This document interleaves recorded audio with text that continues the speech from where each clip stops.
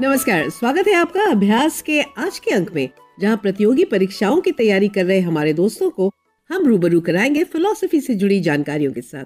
और इस विषय पर हमारे आज के एक्सपर्ट हैं डॉक्टर प्रशांत कुमार, जो लक्ष्मीबाई कॉलेज दिल्ली यूनिवर्सिटी के दर्शन शास्त्र विभाग से हैं। आपका बहुत बहुत स्वागत। कार्यक्रम का आगाज़ हम करेंगे एक्सप्लेनर सेगमेंट से, जिसे पेश करेंगी दीपमाला, और विषय बहुत ही खूबसूरत सा है, वो है कॉन्सेप्ट ऑफ़ हैप्पीनेस खुशी शब्द का प्रयोग केवल जीवन की सकारात्मक प्रशंसा के लिए नहीं किया जाता। ये एक मात्रा को संदर्भित करता है, जैसे लंबाई या वज़न की अवधारणा। ये किसी चीज़ के अधिक या कम को दर्शाता है। जब हम कहते हैं कि कोई व्यक्ति खुश है तो हमारा मतलब है कि वो अपने जीवन का मूल्यांकन प्रतिकूलता के बजाय अनुकूल रूप से करता है। प्रसन्नता एक अवस्था है, गुण नहीं। दूसरे शब्दों में, ये लंबे समय तक चलने वाली स्थायी विशेषता या व्यक्तित्व विशेषता नहीं है, बल्कि एक अधिक क्षण भंगुर परिवर्तनशील स्थिति है। खुशी को प्रसन्नता या संतोष महसूस करने के बराबर माना जाता है, जिसका अर्थ है कि खुशी को प्रसन्नता, परमानंद, आनंद या अन्य तीव्र भावनाओं से भ्रमित नहीं होना चाहिए। ये केवल एक व्यक्ति की स्थिति है, ये सामूहिकता पर लागू नहीं होता। इस प्रकार एक राष्ट्र को सुखी नहीं कहा जा सकता, भले ही इसके अधिकांश नागरिक स्वयं को सुखी मानते हों। व्यक्तिपरक खुशी एक व्यक्ति द्वारा जीवन की एक व्यक्तिपरक प्रशंसा को दर्शाता है। इसीलिए खुशी के लिए कोई उद्देश्य मानक नहीं है। एक व्यक्ति जो सोचता है कि वो खुश है वास्तव में वो खुश है। भले ही उस व्यक्ति को गलत जानकारी क्यों न दी गई हो। खुशी शब्द का प्रयोग तब किया जाता है जब किसी ने अपने जीवन की गुणवत्ता के बारे में समग्र निर्णय लिया हो। इसका तात्पर्य एक बौद्धिक गतिविधि से है। कोई ये नहीं कह सकता कि कोई व्यक्ति खुश है या नहीं।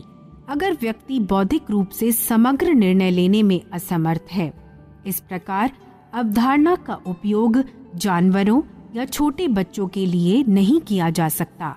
अतीत में सुखवादी सुख की तुलना केवल इंद्रिक सुख से करते थे। हालाँकि प्रशंसा के और भी तरीके हैं। संवेदी प्रणाली के अलावा अनुभूति, प्रभाव भी व्यक्ति को अपने जीवन का मूल्यांकन करने में सक्षम बनाता है। खुशी शब्द एक निर्णय को संदर्भित करता है। जो उपयोग किए गए सभी प्रशंसा मानदंडों को एकीकृत करता है। इस प्रकार ये विचार कि किसी के पास सब कुछ है जो उसने कभी चाहा है, ज़रूरी नहीं कि वो व्यक्ति को खुश करे।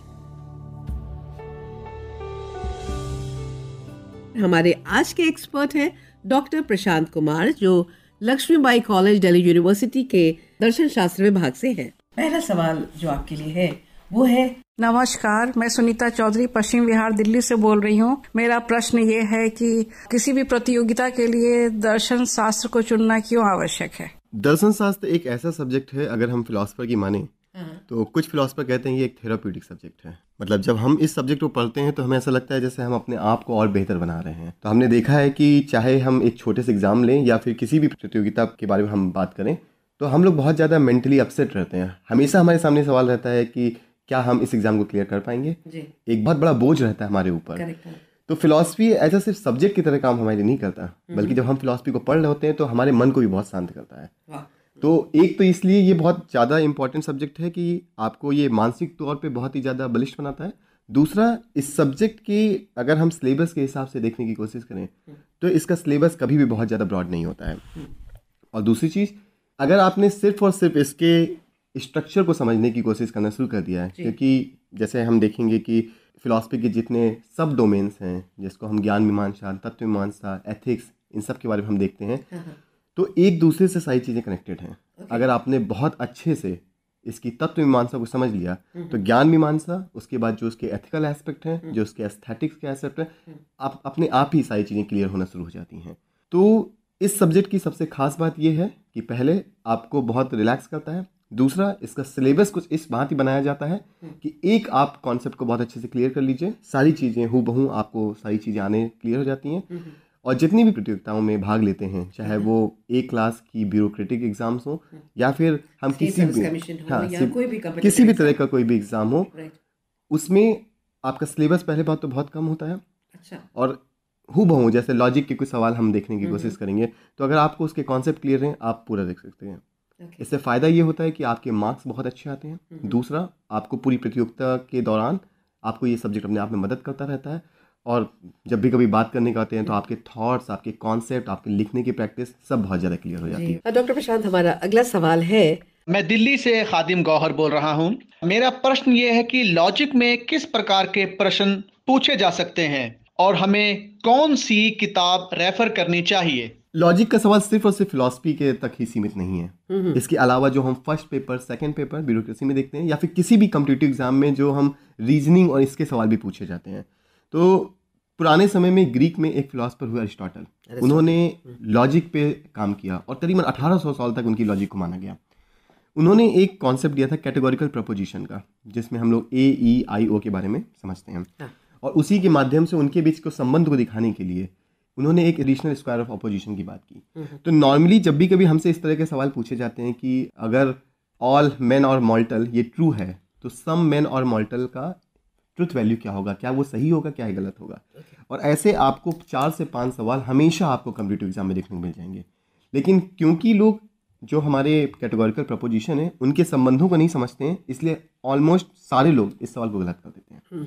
तो ये बेसिक क्वेश्चंस हैं जो आपको किसी भी बी ग्रेड में लॉजिक के सवाल पूछे जा सकते हैं। लेकिन अगर आप फिलोसफी की बात करें तो ट्रेडिशनल स्क्वायर ऑफ़ अपोजिशन क्या है? ये एक सवाल बहुत इंपॉर्टेंट रहता है। बेसिक से बहुत ज़्यादा सवाल पूछते हैं। जैसे हम लोग हमेशा बोलते हैं कि तुम बहुत आर्ग्यूमेंट कर रहे हो। पर आखिर है क्या ये आर्ग्यूमेंट तो इस तरह के लॉजिक में आपको सवाल बहुत ज़्यादा पूछे जाते हैं। अच्छा। फिर ये भी पूछा जाता है कि अच्छा 1800 साल तक एक लॉजिक चलती रही लेकिन जो मॉडर्न लॉजिक आई तो उसमें ऐसी क्या खामियाँ थी पुरानी लॉजिक में जो हमें मॉडर्न लॉजिक की ज़रूरत आवश्यकता पड़ी, आवश्यकता पड़ी? तो इस तरह के एक सवाल पूछे जाते हैं।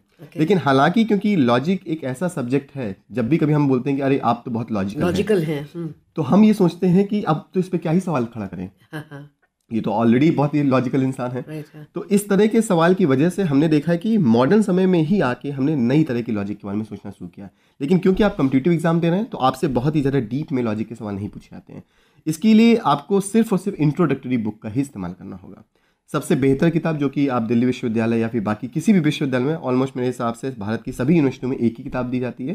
कोपी एंड कोहिन की बुक है इंट्रोडक्शन टू लॉजिक वो बुक है, मैं क्या चाहता हूँ कि अगर आपको लॉजिक के लिए प्रिपरेशन करना है, उस बुक को पढ़िए और उसके बहुत ज़्यादा ऐसा नहीं कि आपको सारे ही चैप्टर कंप्लीट करने हैं।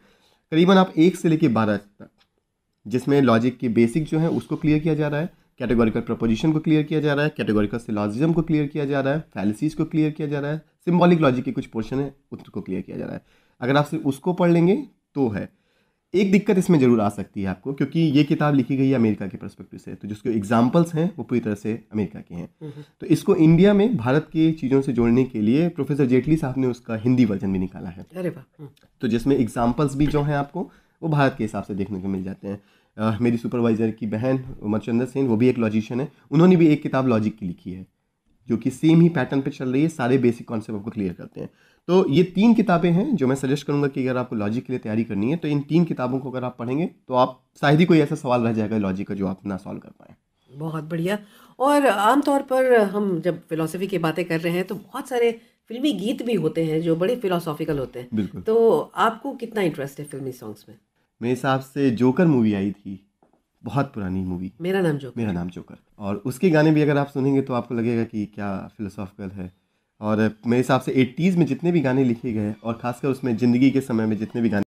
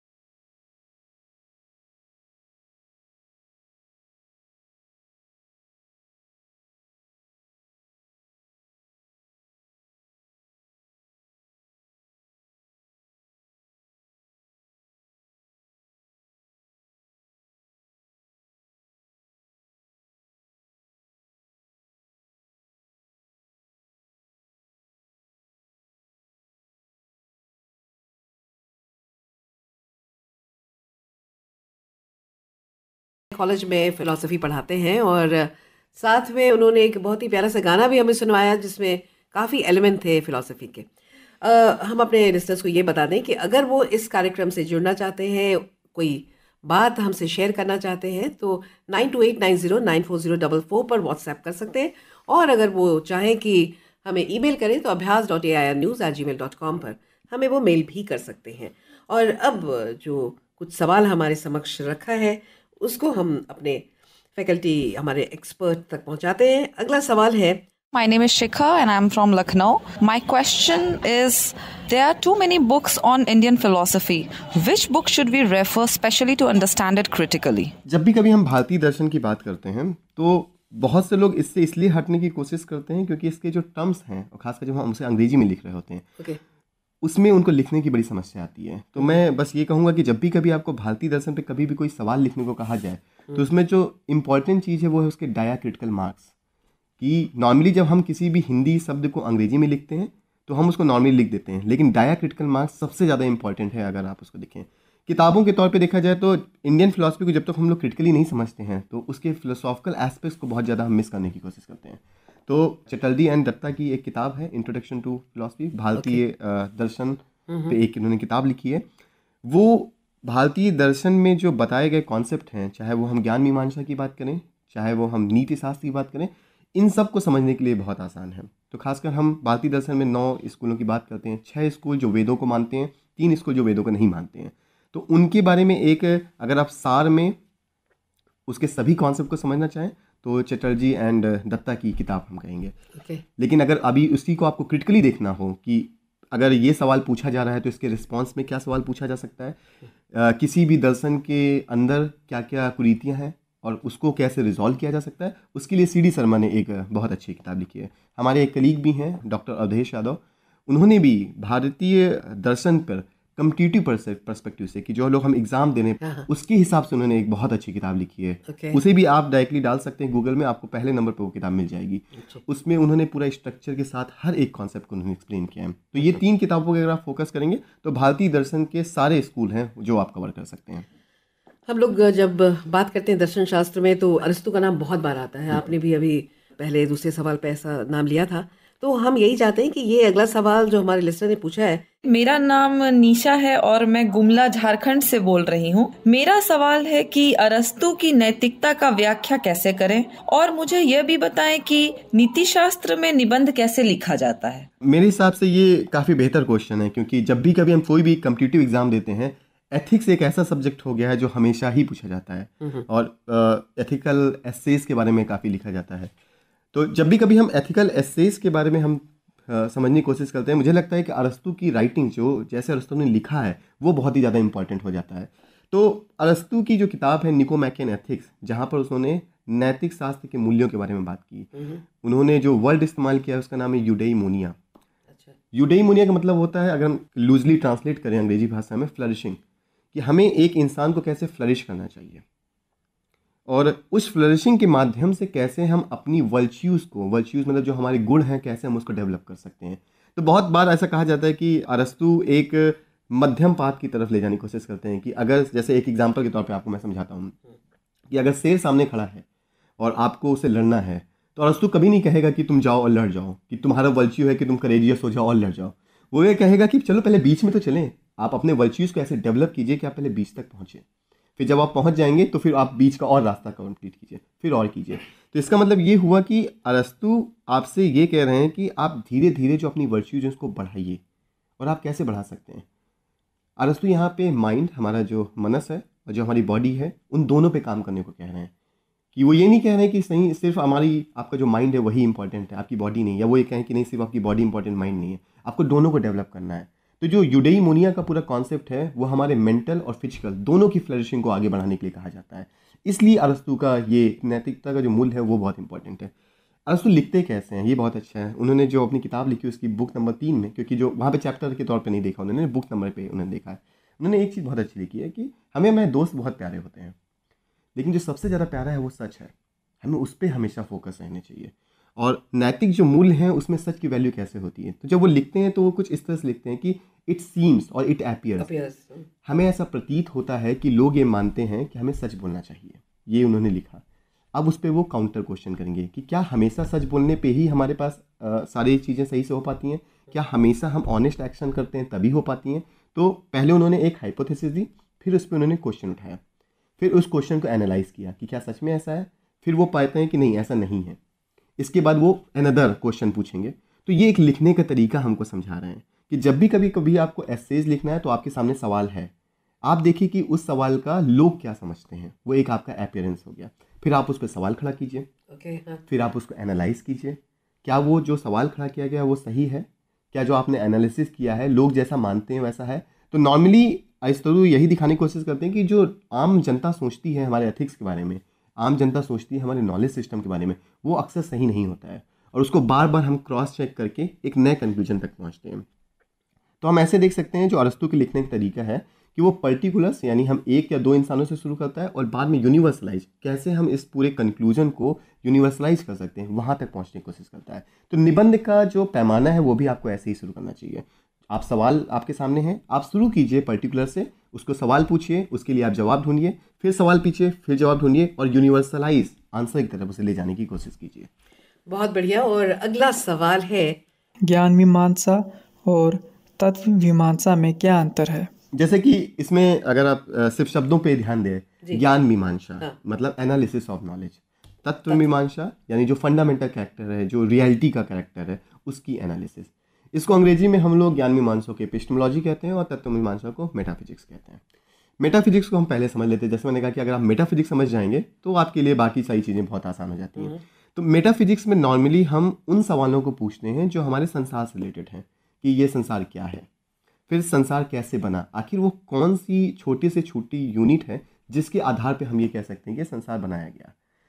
फिर ये आता है कि इन संसार में क्या क्या चीज़ें हैं? तो जैसे हो सकता है कि टेबल चेयर ये सारी चीज़ें हैं। तो जो भी लोग इस बात पे बिलीव करते हैं कि नहीं हमारी जो रियलिटी है वो प्लूरिस्टिक है। वो कहेंगे कि टेबल चेयर होती है। कुछ ऐसे भी फिलोसफर हैं जो कहते हैं कि नहीं ये सब माया है। जो रियलिटी है वो केवल एक है। कुछ लोग उसको भगवान कहते हैं कुछ लोग उसको ब्राह्मण कहते हैं कुछ लोग उसको मोनेट्स कहते हैं। तो डिपेंड करता है कि कौन किस पे बिलीव कर रहा है। तो मेटाफिजिक्स का मेन काम बस यही है कि वर्ल्ड क्या है? वर्ल्ड कैसे बना? तो जितने भी सवाल हमारे हैं कि रियलिटी क्या है क्या हम जो सामने आमने सामने बैठ के बात करें क्या ये सच में सही है या इसको हम डेकार्स की तरह सवाल पूछ के खारिज कर सकते हैं तो इस तरह के जब हम सवाल पूछना शुरू करते हैं तो ये मेटाफिजिक्स के अंदर आते हैं। लेकिन ज्ञान मीमांसा का है कि ठीक है अगर वर्ल्ड ऐसा है तो हम इसको कैसे जान सकते हैं? आखिर हम वैलिड नॉलेज कैसे गेन कर सकते हैं?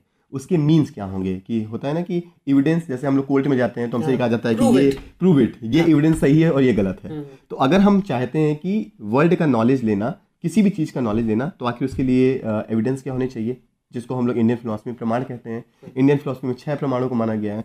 साइंस में जब हम बात करते हैं तो हम लोग एक्सपेरिमेंटल की तरफ़ जाते हैं। और अगर हम इसको लॉजिक से जोड़ें तो इंडक्टिव रीजनिंग या इंडक्टिव आर्ग्यूमेंट जो हम लोग नॉर्मली यूज़ करते हैं, उसका इस्तेमाल हम साइंस में करते हैं।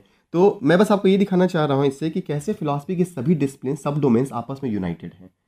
और मेटाफिजिक्स की जब हम बात करते हैं तो हम संसार को देखने की कोशिश करते हैं और जब हम ज्ञान मीमांसा की बात करते हैं तो किस तरह से हम नॉलेज को गेन कर सकते हैं क्या क्या उसके माध्यम होने चाहिए कौन कौन से एविडेंसेज का हमें इस्तेमाल करना चाहिए? और अब इस कार्यक्रम का आखिरी सवाल। मेरा नाम रीता झा है। मैं बिहार के दरभंगा जिला की रहने वाली हूँ। सौंदर्य शास्त्र का केंद्रीय विषय क्या है और सौंदर्य शास्त्र के प्रश्नों की तैयारी कैसे करें? मैं मानता हूँ कि ये बहुत ही ज़रूरी सवाल इसलिए है क्योंकि जब भी कभी हम फिलोसफी की बात करते हैं हम एस्थेटिक्स को भूल जाते हैं। जैसे अभी हमने गाना सुना तो एस्थेटिक्स का पार्ट है आर्ट एंड एस्थेटिक्स का पार्ट है। और नॉर्मली जब भी कभी हम फिलोसफी की बात करते हैं तो जिस तरह से अभी चल रहा है हम एथिक्स को बहुत ज़्यादा फोकस करते हैं। लेकिन एस्थेटिक्स एक ऐसा सब डोमेन है जिसको हम नॉर्मली भूल जाते हैं। तो इसका सेंट्रल पॉइंट क्या है? तो इसका सेंट्रल सब्जेक्ट यही है कि सुंदरता क्या है? अब सुंदरता आप कैसे देख सकते हैं? हमने जब संगीत सुना तो हम कह सकते हैं कितना सुंदर गीत है। हम कोई नाटक देखने जाते हैं तो हम कह सकते हैं यार इससे बेहतर नाटक तो हो ही नहीं सकता। तो आखिर जितनी भी तरह के आर्ट और जितने भी तरह की कलाओं के बारे में हम बात कर रहे हैं उसमें सुंदरता क्या है? कैसे हम बताएँ कि कोई चीज़ सुंदर है? क्या सुंदरता हमारे और आपके परिप्रेक्ष्य में हो सकती है कि कोई चीज़ आपको सुंदर लगे पर मुझे नहीं लगे और मुझे लगे आपको नहीं लगे? तो आखिर किस तरह से हम सुंदरता को डिफाइन करें? तो ये एक सवाल इंडियन फिलोसफी से लेके वेस्टर्न फिलोसफी में रहा। नाट्यशास्त्र अभिनव गुप्ता ने नाट्यशास्त्र पे सोलह की सोलह किताबें लिखी थी वॉल्यूम्स में। वेस्टर्न फिलासफी में अगर हम बात करें तो साध जैसे जो हमारे एग्जिस्टेंसिस फिलासफर है उन्होंने आर्टिकल पे आर्टिकल लिख दिया कि आखिर ये आर्ट क्या है ब्यूटी क्या है इन सारे समाजों पे। तो इस तरह का हमारा केंद्र का विषय रहता है।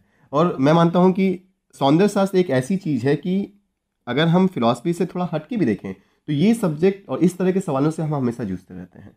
हम पेंटिंग देख रहे हैं हम उसके बारे में बात करते हैं तो उसकी सुंदरता क्या है? हम खाना खाने जाते हैं हम उसके टेस्ट के बारे में बात करते हैं तो आखिर टेस्ट क्या होता है? सुंदरता क्या होती है? हम जब कहते हैं कि नहीं मुझे ये देख कर बड़ा अच्छा लगा तो ये अच्छा लगना क्या होता है? तो ये है आपके सौंदर्य शास्त्र के विषय हाँ। जिसको हम पढ़ने की कोशिश करते हैं। हाँ।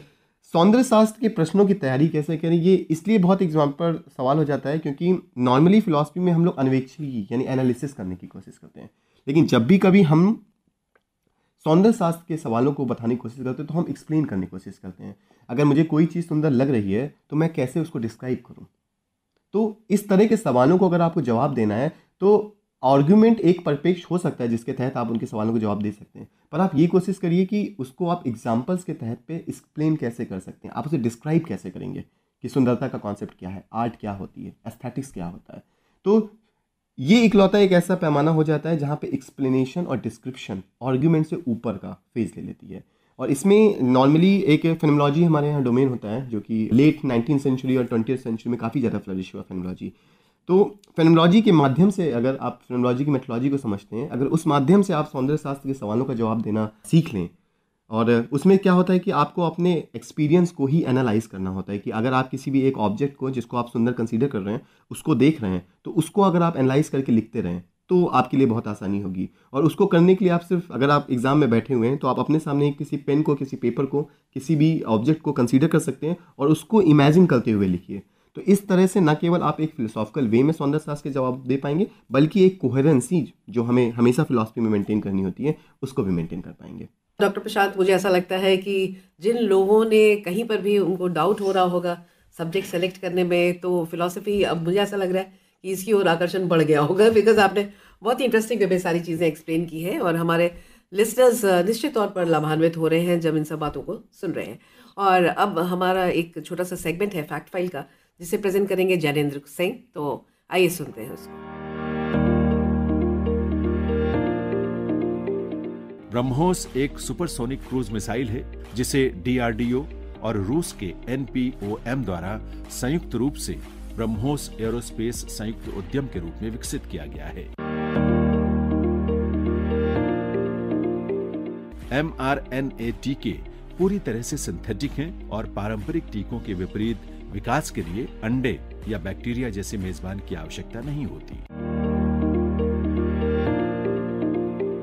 चंद्रयान दो मिशन में चंद्रमा के दक्षिणी ध्रुव का पता लगाने के लिए एक ऑर्बिटर लैंडर और रोवर शामिल थे। ध्रुवीय उपग्रह प्रक्षेपण यान, यानी पीएसएलवी भारतीय अंतरिक्ष अनुसंधान संगठन, इसरो द्वारा डिज़ाइन, निर्मित और संचालित तीसरी पीढ़ी का रॉकेट लॉन्चर है। जेम्स वेब स्पेस टेलीस्कोप एक परिक्रमा करने वाली अवरक्त वेधशाला है, जो हबल स्पेस टेलीस्कोप की खोजों का पूरक और विस्तार करेगी। हबल स्पेस टेलीस्कोप 24 अप्रैल 1990 को डिस्कवरी शटल से लॉन्च किया गया था। क्रिप्टो करेंसी एक डिस्ट्रीब्यूटेड लेजर टेक्नोलॉजी डीएलटी आधारित सिस्टम है, जिसका उपयोग बैंकों और अन्य वित्तीय फर्मों द्वारा किया जा सकता है। ग्रीन हाइड्रोजन वो हाइड्रोजन है जो नवीकरणीय बिजली का उपयोग करके पानी को हाइड्रोजन और ऑक्सीजन में विभाजित करके उत्पादित किया जाता है। हाइड्रोजन और अमोनिया भविष्य में संभावित रूप से जीवाश्म ईंधन की जगह ले सकते हैं। फैक्चर के बाद हम फिर हाजिर हैं हमारे साथ डॉक्टर प्रशांत लक्ष्मीबाई कॉलेज के प्रोफेसर और ये बहुत ही इंटरेस्टिंग मैंने कहा कि ये पूरा सेशन बहुत ही मज़ेदार रहा। तो मुझे विश्वास है कि हम जो भी हमारे टारगेट लिसनर्स हैं, उन्हें बहुत फ़ायदा हुआ होगा। अगला विषय भी हम बता दें, अगला विषय हमारा इंडियन पॉलिटी का होगा और उसमें स्पेसिफिकली कॉन्स्टिट्यूशन पर हम बातें करेंगे। आपका यहाँ आने का और हमसे बातें करने का बहुत बहुत शुक्रिया। शुक्रिया मैम आपने मुझे बुलाया और हमने एक फिलॉसफी पे बात की जो कि आजकल अगर आप देखें तो बहुत चर्चाएँ बहुत रेलिवेंट है पर बहुत कम भी हो गई हैं। हाँ। बहुत बहुत शुक्रिया आपने मुझे यहाँ पे बुलाया। जी और मैं अपने लिसनर्स को कहूँगी कि अभ्यास करें बहुत अभ्यास करें निश्चित तौर पर सफलता आपके कदम चुमेगी इसके साथ ही मुझे विनीता को और हमारे आज के मेहमान प्रशांत को दें इजाज़त। नमस्कार।